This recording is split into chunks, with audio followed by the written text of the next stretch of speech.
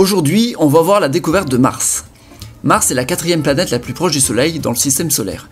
Elle fait partie des cinq planètes visibles à l'œil nu et est donc connue depuis toujours.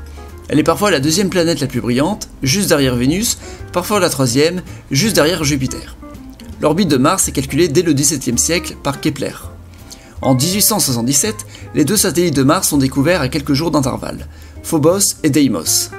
Au début du XXe siècle, des cartographies précises sont réalisées grâce aux puissants télescopes. Pour ce qui est de l'exploration spatiale, Mars est la deuxième planète à avoir été explorée juste après Vénus.